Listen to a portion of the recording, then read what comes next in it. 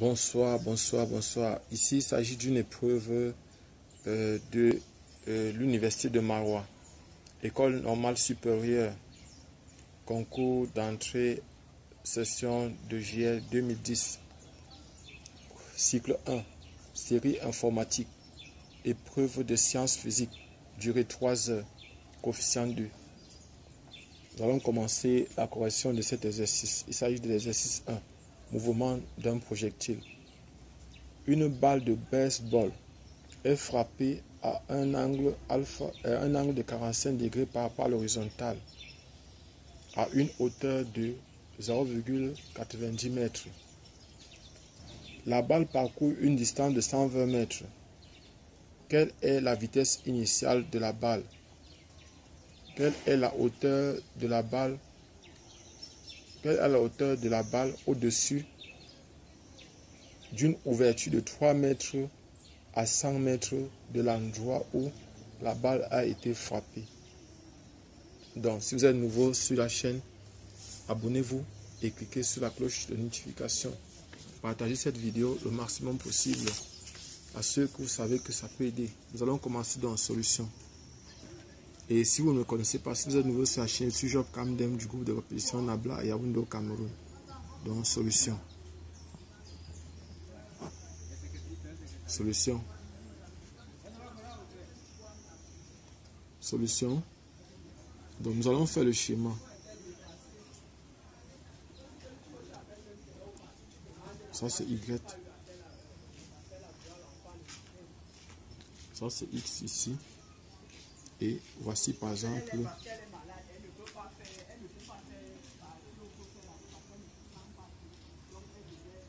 Ici, voici la hauteur à partir de laquelle le ballon est frappé. Le ballon est frappé et il va aller comme ça. Et il va aller descendre. Donc, il va descendre. Bon, allons-y, ici comme ça. on va descendre, ça c'est l'axe des X. Et il va frapper. Ici, appelons ça le point P. Donc, ici, ça c'est O. Ici, c'est I. C'est le vecteur I. Ici, c'est le vecteur J. Donc, voilà ce qu'on a. Appelons ça. Donc, ça, c'est l'angle alpha. Ça, c'est alpha, 45 degrés. On va appeler ça l'angle alpha. Donc, voici par exemple ici. Ici, ça, c'est le poids. La seule force qui agit sur le système, c'est son poids. Donc, système. Système. C'est balle de masse M égale. Donc, de masse, c'est une balle de masse M. On ne connaît pas sa valeur, on ne connaît pas la balle, la valeur de la balle de baseball. Maintenant, référentiel. Référentiel, c'est terrestre supposé galiléen. Terrestre supposé galiléen. Maintenant, bilan des forces agissant sur le système.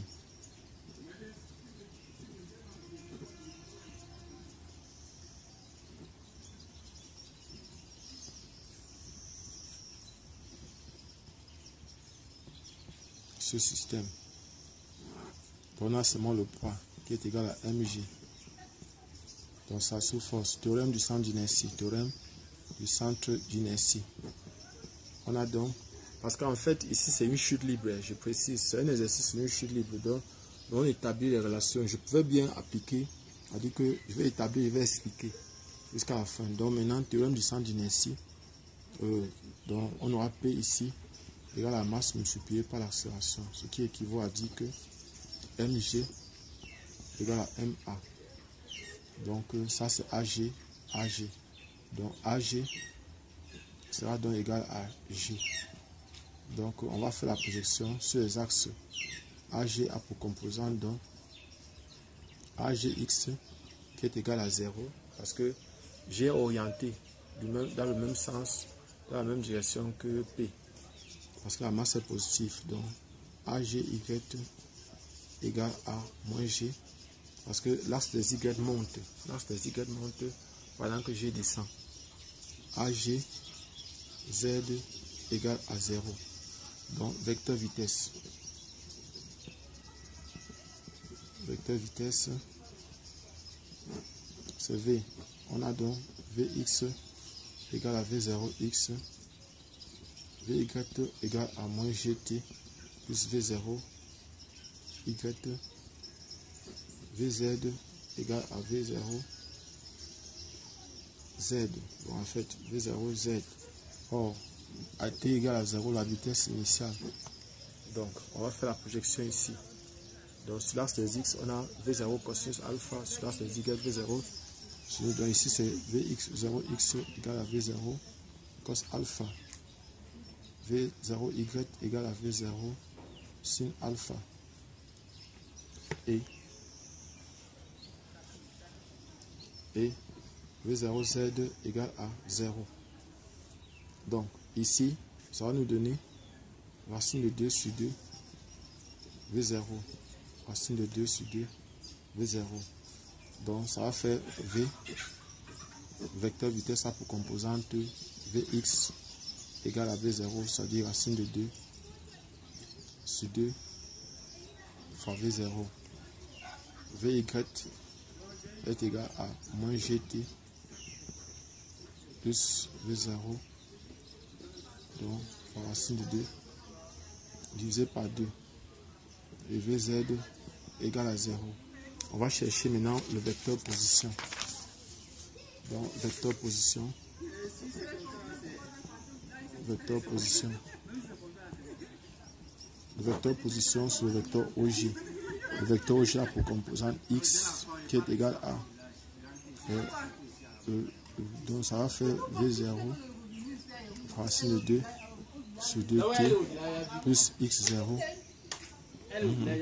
y égale à moins 1 demi moins 1 demi de gt carré plus racine de 2 sur 2 v0 t plus y0 z égale à 0 donc voilà par exemple ce qu'on a.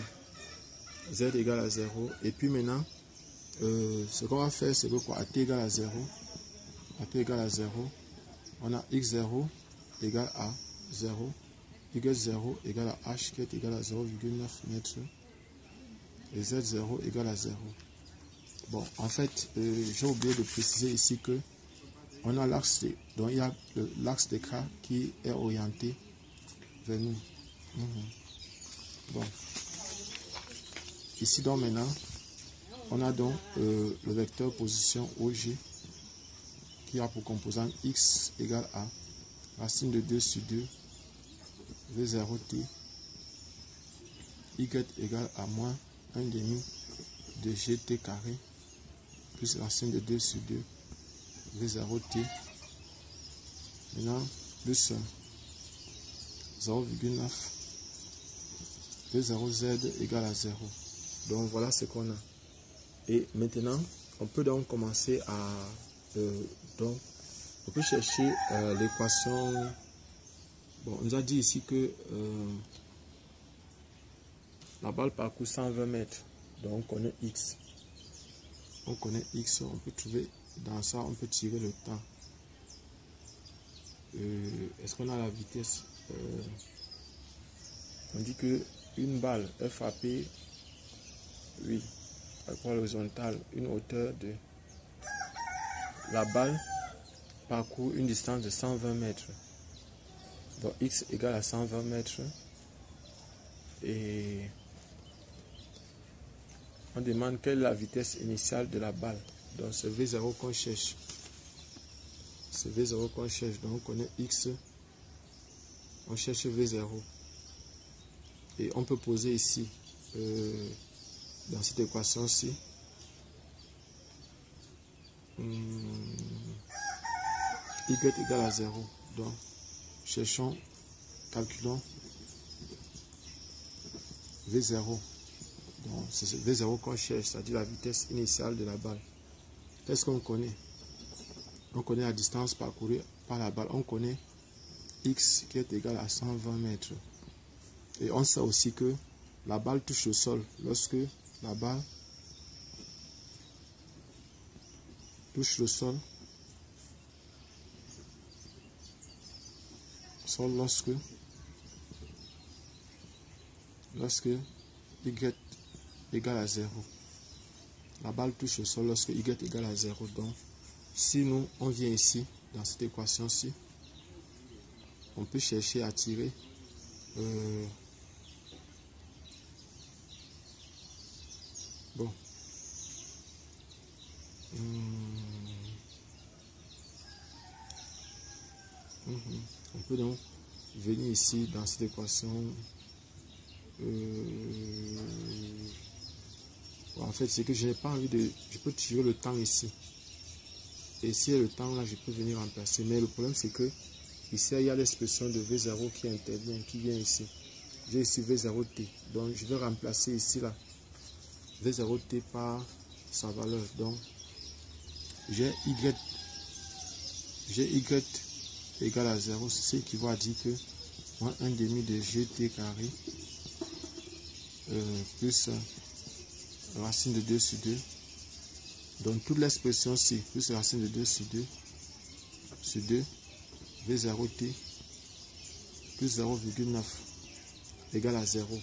Mais toute l'expression ci c'est encore l'expression ci là. Dire toute l'expression c'est encore ça. Donc je peux remplacer l'expression ci là par x. Et je cherche à tirer t. Donc, ça équivaut à dire qu'on aura donc moins 1 demi de gt carré plus x plus 0,9 égale à 0. Je vais envoyer ça de l'autre côté. Ça va donner euh, 1 demi de gt carré égale à x plus 0,9. Donc tirer, on va donc tirer ici t le carré est donc égal à 2 fois facteur de x, x plus 0,9 divisé par g. Donc ça va donner, on a t ici égal à 2 fois x plus 0,9 divisé par g. Donc voilà le temps. On a le temps ici. Donc application numérique, le temps là, c'est pas le temps qu'on cherche, mais si on a ce temps-là, on peut venir remplacer le temps-là ici, dans cette expression, c'est pour tirer vers 0. Donc, on fait l'application numérique. Application numérique qui est égal à racine carrée de 2 facteur de 120 plus 9 plus 0,9 divisé par 10 divisé par 10 donc, bon, voilà le temps là. On peut tirer ce temps, on vient remplacer. Et là maintenant, ça c'est le temps que le ballon a mis, le dans le ballon de baseball a mis pour toucher le sol. Et maintenant, ce qu'on va faire, c'est quoi? C'est qu'on sait que, or, on sait que x égale à racine de 2 sur 2, V0 V0 T. Or, T, voici T qu'on vient de calculer. On va remplacer, donc on va tirer dans V0. V0 est donc égal à 2x sur racine de 2 et divisé par T. T ici en bas. Donc, on va donc remplacer. On va remplacer euh, nous allons remplacer ici. Nous allons remplacer ici la V0. On va remplacer T par sa valeur. Ici, ça fait racine de 2. Donc, on a V0 qui sera encore égal à racine de 2x divisé par euh, racine de 2. 2.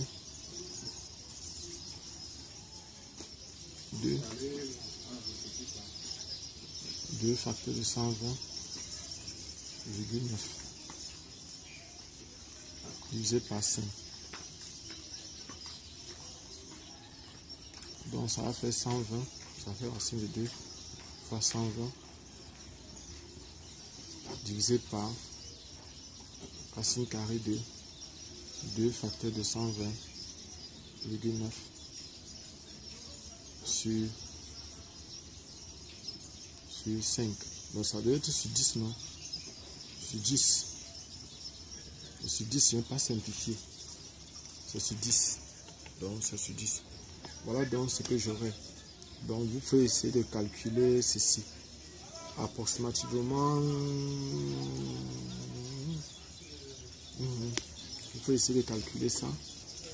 Tout le monde peut essayer de calculer ça si vous avez les calculatrices. Maintenant, on va répondre à la seconde question. Vous allez faire les applications numériques. Tout le monde peut faire ça. Cherchez la calculatrice et faites-le. Maintenant, on me demande aussi, après la vitesse initiale, on me demande quelle est la hauteur de la balle au-dessus d'une ouverture de 3 à 100 mètres. Donc, ça signifie que quoi? On veut Y max, c'est-à-dire on veut la flèche. Y max, c'est-à-dire que Y max, mhm. Y max est égal à quoi? Donc, on cherche euh, la valeur de Y max. On me dit que doit être compris. Euh, quelle hauteur la balle au-dessus d'une ouverture de 3 mètres à 100 mètres de l'endroit où elle a été frappée. Donc ça veut dire que X, ici on me dit, je cherche Y max, je cherche Y égal à quoi? Sachant que 3 euh, est inférieur ou égal à X est inférieur ou égal à, à 100. Donc je dois chercher à trouver euh, euh, l'encadrement de Y. Ça signifie donc qu'il faut donc trouver l'équation de la trajectoire. Ce n'est pas Y max, c'est Y ici. Donc trouver l'équation de la trajectoire. Équation de la trajectoire.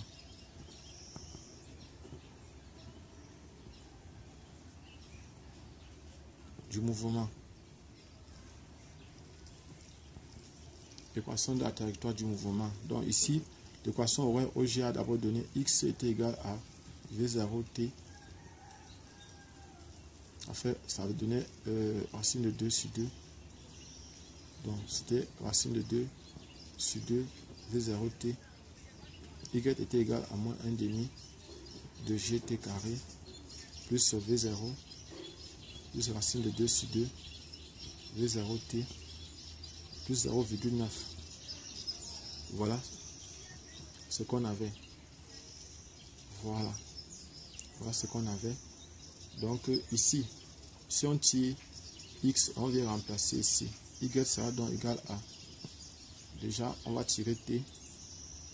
On va remplacer donc ici à t est donc égal à 2 euh, sur racine de 2, ça veut dire ça va faire racine de 2x sur V0.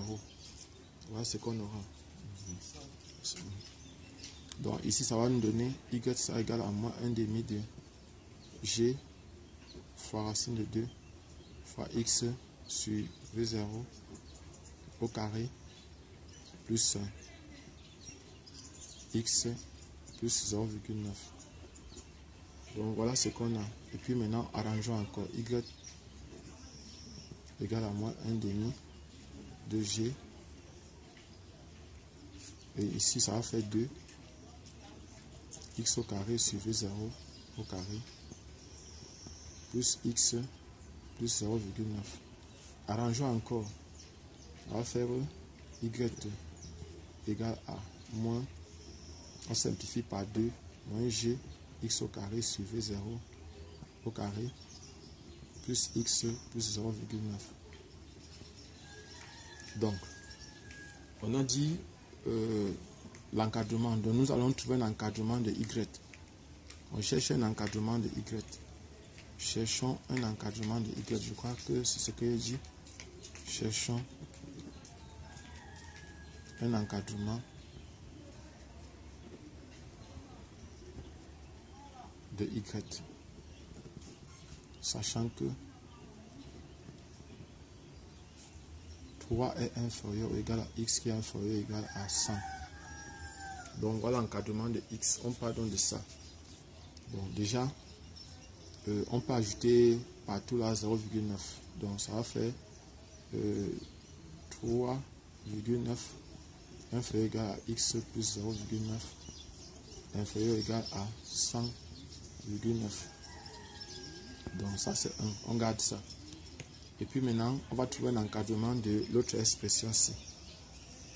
on va trouver l'encadrement de l'autre expression. Si donc on a ceci, on a 3 inférieur ou égal à x qui est inférieur ou égal à 100. Donc en enlevant ça au carré, ça va faire 9 qui est inférieur ou égal à x au carré qui est inférieur ou égal à 10 000. Bon, maintenant, euh, on va multiplier ça par, on va diviser par V0 partout.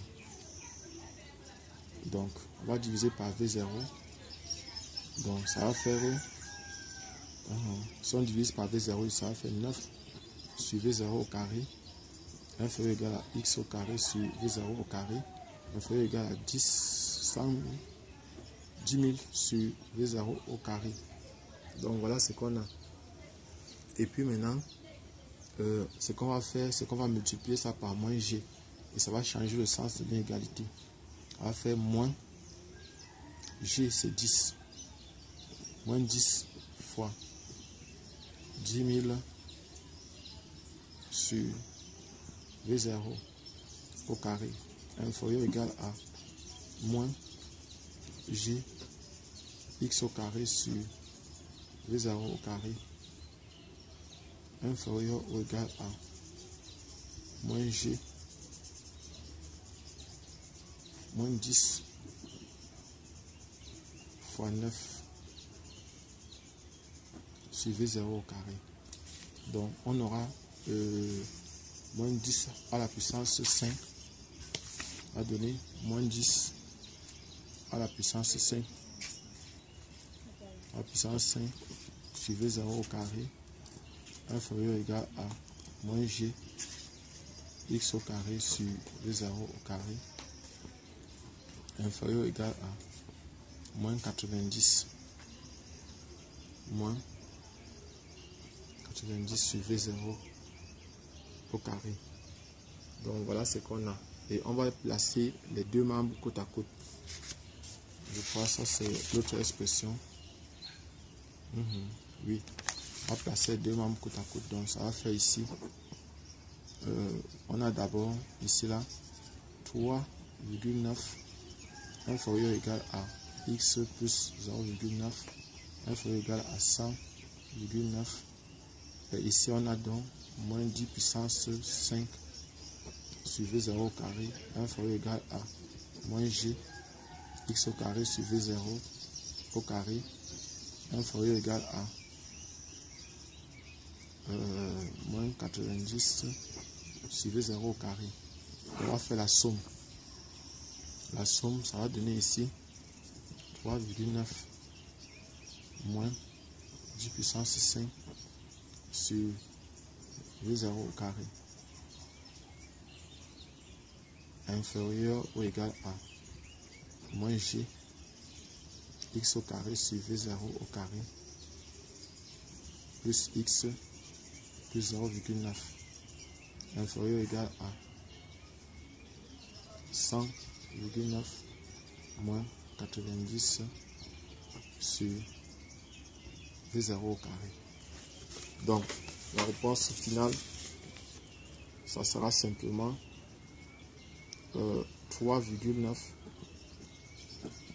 moins 10 puissance 5 sur V0 au carré inférieur ou égal à y inférieur ou égal à 100,9 moins 90 sur V0 au carré. Donc voilà par exemple ce que je trouve. Voilà ce que je trouve. Et s'il vous plaît, euh, ce que je veux dire, c'est que vous-même pouvez faire l'application numérique. Mais le jeu du concours, on ne fait pas comme ça. Le jeu du concours, vous calculez. Parce que ici, je n'ai pas une calculatrice sur moi. Je voudrais vous pousser aussi à travailler. Donc, si vous êtes nouveau sur la chaîne, abonnez-vous et cliquez sur la cloche de notification. Je suis Job Camden du groupe de répétition Nabla et Yaoundé au Cameroun.